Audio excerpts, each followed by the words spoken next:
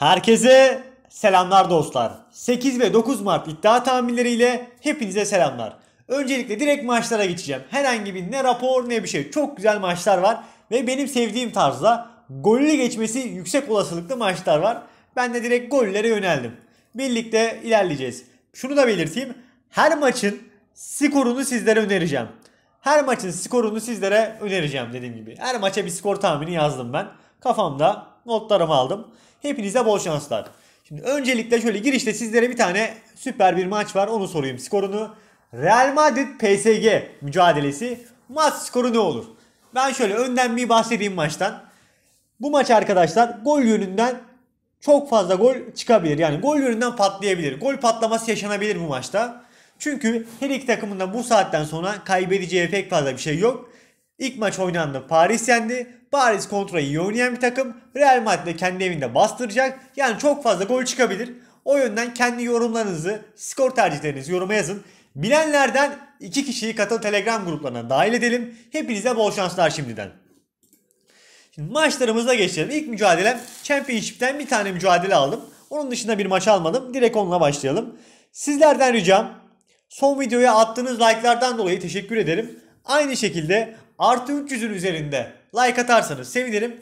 Benim sınırım o çizgim artı 300'dür. Şimdiden teşekkürler. 2 saniyenizi ayırıp like atarsanız sevinirim. Şimdi ilk mücadele Bournemouth'la Petersburg mücadelesi. Şimdi Bournemouth'u ben kendi evindeki oynadığım maçlarda hep değerlendiriyorum. Bu sanırım üçüncü olacak. İki kere değerlendirdim. Kendi evinde birinde 2-0 birinde 2-1 kazandı. Yine aynı şekilde bu, bu skor bandında bir galibiyetini bekliyorum ev sahibinin. Şöyle bir değerlendirme aldım ben bu mücadeleye. Şimdi ev sahibinde iki tane kart cezalısı var. Fakat ev sahibiyle deplasmanın oyun stillerini karşılaştırdım biraz. Deplasmanın en zayıf yönü kanatlardan savunamıyor çok fazla. Ev sahibinin de en güçlü yönlerine baktığımız zaman da kanat forvetlerini iyi kullanan bir takım. Ortada zaten Solanke var. Solanke'yi ne kadar besledikleri ortada. Gol krallığını oynuyor keza. İkinci olması lazım gol krallığında. Solanke'yi dediğim gibi çok iyi besledikleri için kanat forvetlerin de iş yaptığı için ya bu takımı galip gelirler ki zaten bu takımın çok fazla eksiği var.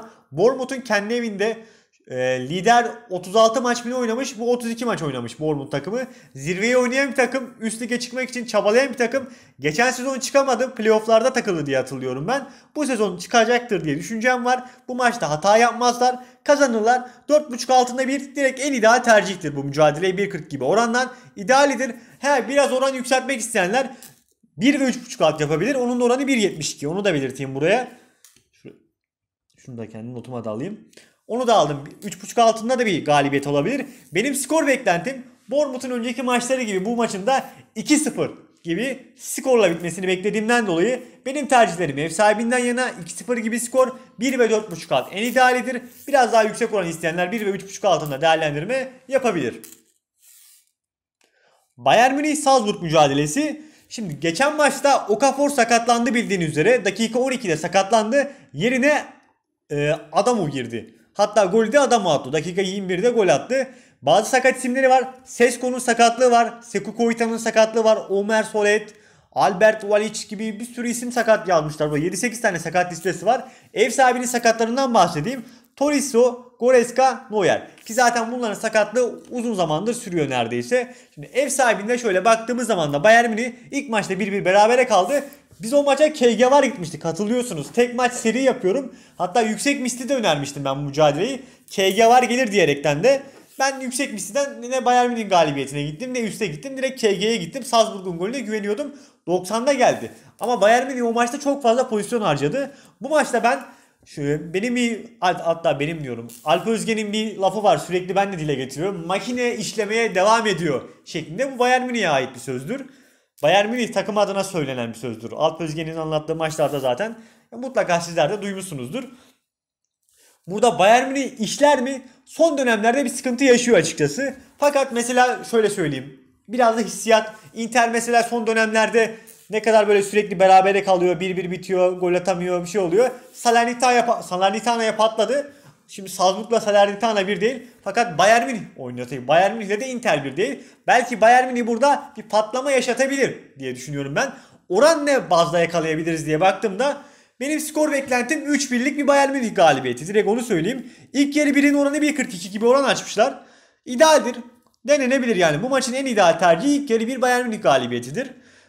Şöyle biraz daha yüksek ne yapabilirim diye baktığım zaman da ilk yarıdan iki tane gol gelir mi? Gelme ihtimali yüksek. Dediğim gibi Bayern Münih burada erken bir patlama yaşayabilir. İlk yarı 1.5 üstüne de 1.71 gibi oran açmışlar. Benim skor beklentimde baylar 3-1'lik bir skor bandı olduğundan dolayı onun da oranı şuradan 8.20. İlk yarı 1 en ideali. İlk yarı 1 ilk yarı 1.5 üst daha doğrusu. Ee, biraz daha yüksek oranlı ilk yarıdan bir Bayern Münih sallayabilir dediğim gibi 3 birlikte bir skor beklentim olduğundan dolayı bu yönde bir değerlendirme yapabilirsiniz kafanıza yatıyorsa. Liverpool Inter mücadelesi. Inter'in ilk maçtan bahsedelim. İlk maçta Liverpool'un ilk kaleye isabetli şutu gol oldu sanırım. Sonra 3. şutu kaleye gol oldu. 2-0 bir anda kazandı. Fakat ondan önce de tabii nasıl oynadığı ondan da bahsedelim. Maçta Mane'nin kaçırdığı kafa vuruşları vardı. Önemli pozisyonlardı. Ee, birkaç tane daha böyle pozisyon kaçtı. Kaleyi bulmadı fakat. Önemli pozisyonlara girdi. Ama daha çok özellikle ilk yarıda daha çok pozisyona giren takım Inter takımıydı. Ben bu maçta şöyle bir gol bekliyorum Inter takımından bakın. İlk maçta Zeko bir tane gol attı. Maçı izlediyseniz veya özetini izlediyseniz mutlaka görmüşsünüzdür. Özette de vardı. Bir tane uzun top geldi. Zeko karşı karşıya gol attı. Ben bu maçta Inter'in böyle bir gol bulmasını bekliyorum. Zeko'nun attığı ilk maçtaki offside'dı. Bir metre bile offside değildi böyle. Bir anda çıktı böyle. Burada hatta şunu belirteyim ben sizlere. Sö- söyleyecekken Inter'in geçen sezonki oyun yapısı değişti mi? Bunu bana bir yazın yorumlara isterseniz. Bana sorarsanız Inter'in geçen sezonki oyun yapısı değişmedi. Lukaku'nun yerine Zeko geldi. Hakiminin yerine Dumfries geldi. Yani bunlar zaten e, aynı tip oyuncular olduğunu söyleyebilirim ben burada. Inter'in özellikle o yaptığı transferlerle birlikte. Inter'in oyun yapısı aynı. Ben burada Liverpool kendi evinde baskılı bunlar zaten şey takım durmaz yani bunlar saldırır. Liverpool kendi evinde durur mu durmaz mutlaka oynayacaktır. Ama Inter'in de burada gol bulmasını bekliyorum. En ideal tercihim burada deplasmanın atacağı bir gol. 1.41 gibi oran açmışlar Inter'in bir golüne. Bunu yazdık mı? KGV'ara da gidebilir. Fakat ben en ideallerden gitmeye çalışıyorum oran bazında. Deplasman 0.5 üst 1.41 gibi orandan. Skor beklentimi de belirteyim. Bu mücadeleye başka bir tercihim olmayacak. 2-1'lik bir Liverpool galibiyeti. Bakın burada KG da çıkıyor zaten gördüğünüz üzere. Fakat ben kombinlerde böyle fazla beklemeyi sevmeyen biriyim. Gelsin gidelim hesabındayım. Belki ilk golü bile Inter atabilir diye düşünüyorum. 2-1 skor var aklımda. 6.80'de bunun oranı var. Geçelim 9 Mart'a. 9 Mart için geldiyseniz tekrardan hepinize teşekkürler. İlk mücadelem Porto Lyon mücadelesi. Bu maçta da ben Porto yanındayım. Porto değerlendirme altına almıştık önceki maçlarda da. Güzel sonuçlar aldık Porto takımından. Lyon'u da son mücadelede biraz takip etme. Daha doğrusu özetini izledim. Lyon mücadelesinin. 4-1 skorla deplasmanda kazandı. Lyon'da şöyle bir mevzu var bu tip maçlarda mesela üstüne gelen takımlara karşı iş yapabiliyor. Mesela ofansif orta sahalarında Paqueta var bildiğiniz üzere. Brezilya milli takımına da son dönemlerde forma şansı almaya çalıştı. O oyuncu zaten tek başına adam eksilterek de pozisyonlara girebiliyor. Sağ açıkta Favre, solda Ekambi, ileride de muhtemelen aynı şekilde Dembele oynayacaktır. Şimdi Porto'da en son mücadelesini 4-2 kazandı. Ben dedim ki 2-3 gol bandında biter diye düşündüm. Maçta tam 6 gol çıktı. Ben o kadar gollü bir maç beklemiyordum. Zaten ev sahibinin atacağı 2 gol biraz sürprizdi açıkçası. Bir golü bile sürpriz ev sahibinin öyle düşünerek ben böyle 2-0 belki 2-1 bandına biter diye düşünüyordum. 4-2 bitti o mücadele. Bu maçta gollü geçmeye aday bir mücadele baylar. Öncelikle onu belirteyim. Burada ben hem Porto'nun hem de Lyon'un gol atmasını bekliyorum. Hatta benim skor beklentim şöyle söyleyeyim. Skor beklentim diyorum. Benim yararlandığım yazılımda bu mücadelenin skoru 2-2 çıkmış bakın. Yani çok gollü bir maç bekleniyor. Ama ben skor olarak katılmıyorum bu sefer. 2-2 skora katılmıyorum. KG var alınabilir mi? Alınabilir. 1.52 gibi orandan. Güzel bir mücadele olacaktır bu mücadelede keza. Fakat ben şöyle düşünüyorum. Ev sahibi Porto'nun 2-1 skorla kazanmasını handikap sıfırında 3.30 gibi oranı var burada. Bakın. 3.30 gibi bir oranı var. Porto'nun tek farklı skor kazanır, kazanırı. Skor beklentinde doğrudan direkt 2-1'lik bir Porto galibiyeti. KG varı idealdir. 7.40'da 2 birlik skorun oranı var. Değerlendireceklerine aklına yatanlara bol şanslar. Real Betis Frankfurt mücadelesi. Bu maçı biraz hızlı geçmek istiyorum. Bu maçı ben korner olarak değerlendirdim. Kornerini de henüz açmamışlar. Muhtemelen 8.5'a 1.45 gibi oran açacaklar. Ben Avrupa ile biraz karşılaştım. E, Frankfurt'u ben sürekli korner olarak değerlendiriyorum bildiğin üzere. Çünkü kanat beklerinden sürekli özellikle sol taraftaki Kostić ile birlikte önemli şekilde faydalanıyor ki bunları zaten e, değerlendiriyor. Pasensia bu maçta kart cezalısı Frankfurt takımında olmayacak. Ev sahibinde şöyle önemli bir eksiklik var mı diye baktığımda Montoya, Miranda, Moreno gibi isimler falan var. Onun dışında Fekir oynayacak aynı şekilde. Jose, Canales, Juanni gibi isimlerle sahada olacak. Dediğim gibi korner beklentim var bu mücadelede. Başka bir tercih veya skor tercihi yapmadım bu mücadeleye. Sadece 8.5 üst korneri idealden önereceğim bu mücadeleye. Manchester City ile Lisbon. Bakın City'yi nasıl değerlendirdik geçen United maçında? 1-1.5 üst idealden aldım. Geleceğini biliyordum. 1-2.5 üst zaten gelir diye düşündüm. 2-1 gibi bir skor çiziyordum. 4-1 bitti. İşte muazzam oynuyor. Guardiola'nın o bir açıklama yaptı. Açıklama yaptığı gün oldu. Son videoda da bahsettim zaten City'yi anlatırken. Dedi ki e, savaşla ilgili konuştu. Ligle ilgili konuştu. Dedi ki her maçımızı kazanmalıyız. Liverpool yoksa bizden bu şampiyonluğu alabilir. O potansiyelde Liverpool ne kadar tehlikeli bir şekilde arkasından geldiğinden bahsetti. Bir de savaşla ilgili konuşma yaptı zaten. Siyaset oyuncağı falan fistan bir şeyler dedi. Şimdi City affeder mi? Bundan konuşalım. Benim bildiğim City bu maçı da affetmez. Çünkü bu sezon ben büyük konuşmak istemiyorum. Finalistinin adını yazıyorum.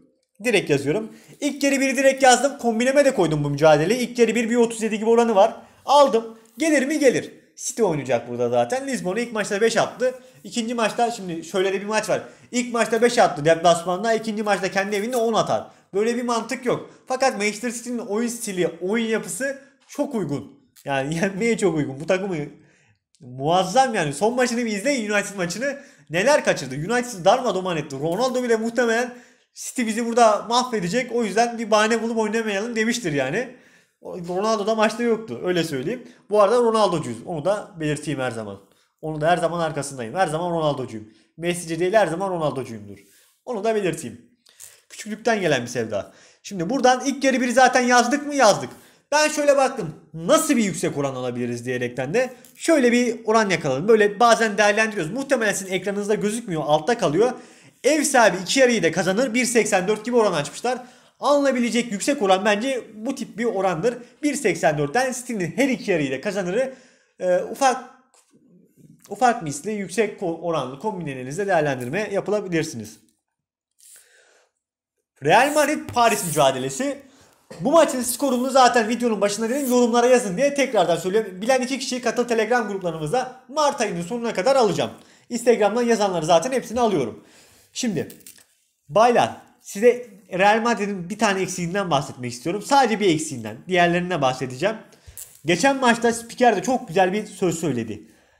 Ka e, Casemiro kart cezalısından düştü. Dedi ki çok kötü oldu. Real Madrid takımında alternatif olmayan tek oyuncu olarak Casemiro'yu zaten söyledi. Haklı mı? Sonuna kadar haklı. Şu an Casemiro'nun bölgesinde o defansif orta saha rolünde hem hücuma katkıyı hem de savunmaya o kadar katkı verecek bir futbolcu şu an Real Madrid tarafında yok.